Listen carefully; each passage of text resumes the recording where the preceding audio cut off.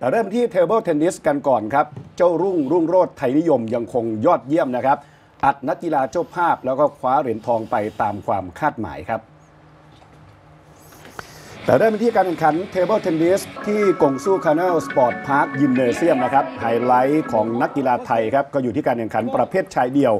คลาสในรอบชิงชนะเลิศนะครับ เจ้ารุ่งรุ่งโรจน์ไทยนิยม นักกีฬาทีมชาติไทยเจ้าของเหรียญทองเอเชียนพาราเกมส์ 2018 เจ้าของแชมป์เอเชีย 5 สมัยนะครับพาราลิมปิกเกมส์ก็ได้เหรียญทองมาแล้วด้วยนะครับ เรียกว่าดีกรีนี่สุดๆ จริง ๆ นะครับ ก็ลงสนามพบกับหวงเจียซินนักกีฬาจีนเจ้าภาพเนี่ยครับเจ้ารุ่งของเราในเสื้อสีเหลืองครับปรากฏว่าก็เหนือกว่าชัดเจนนะครับ เอาชนะ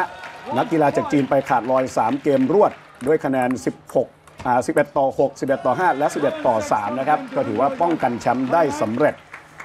ยังคงยอดเยี่ยมจริง ๆ นะครับ ไม่ว่าจะแข่งขันในมากรรมกีฬาระดับไหลครับสำหรับรุ่งโรจน์ครับ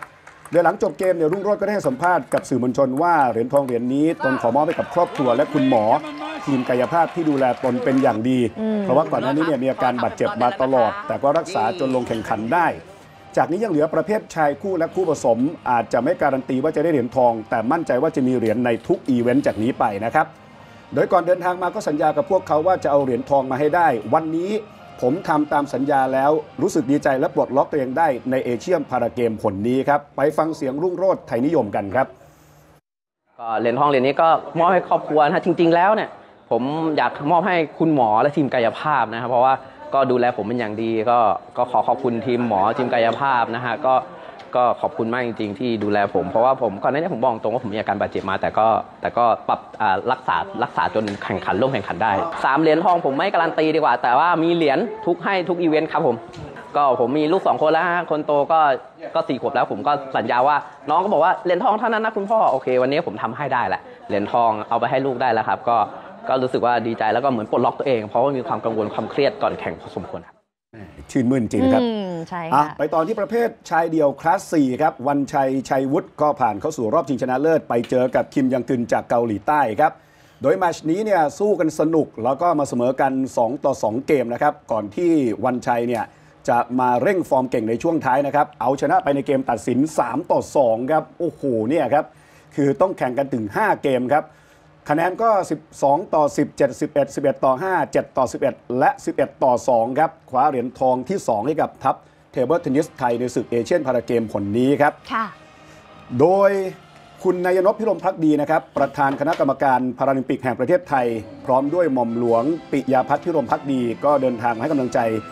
นักกีฬาเทเบิลเทนนิสเอเชียนพาราเกมส์ของไทยนะครับ พร้อมกับเข้าชมการแข่งขันเทเบิลเทนนิสรอบชิงชนะเลิศ ระหว่างรุ่งโรจน์ไทยนิยมกับหวงเจียซินที่รุ่งโรจน์เนี่ยเอาชนะไปขาดลอย 3 เกมรวดนะครับ โดยหลังจบเกมร้อยโทณัยณพภิรมย์ภักดี ประธานคณะกรรมการพาราลิมปิกแห่งประเทศไทย พร้อมด้วยหม่อมหลวงปิยาพัฒน์พิรมพักดี ก็ได้ร่วมความแสดงแสดงความยินดีกับลุงโรจน์นะครับที่สามารถคว้าเหรียญทองและรักษาแชมป์ไว้ได้อีกครั้ง ซึ่งลุงโรจน์ก็ได้ขอบคุณ และบอกกับท่านประธานว่าจะขอทำผลงานในรายการที่เหลือออกมาให้ดีที่สุด สำหรับลุงโรจน์ยังเหลือการแข่งขันอีก 2 รายการประกอบด้วยชายคู่และคู่ผสมนะครับที่จะลงแข่งขันรอบคัดเลือกในวันนี้ครับอืมก็ยังมีลุ้นกันต่อนะคะสำหรับเหรียญทองของทีมชาติไทยของครับเรานะคะ เพราะว่าตอนนี้เหรียญทองของเรากำลังสูสีอยู่กับทีมชาติญี่ปุ่นอืมนะคะ แล้วอย่างที่เราเห็นนะคะว่า วันเดียวอะที่เรากวาดเหรียญทองมาได้นะพี่เจ12 12 เหรียญทองนะคะ แล้วก็แม่พุ่งทะยานขึ้นมาเลยอะโดยเฉพาะลุงโรจน์เนี่ยปัจจุบัน 37 ปีแล้วค่ะนะครับ ดีกรีไม่ธรรมดาอืมเรียกว่ากวาดมาทุกเหรียญทองใช่ค่ะทุกมหากรรมกีฬาทุกระดับนะครับ ยังไงก็ตามลุ้นตามเชียร์กันต่อครับ ถูกต้องค่ะ